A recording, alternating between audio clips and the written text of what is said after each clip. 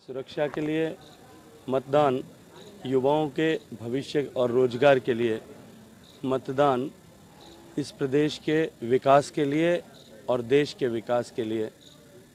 ऐसा मतदान करने का लोकतंत्र का ये उत्सव, लोकतंत्र का ये पर्व पाँच साल में एक बार आता है।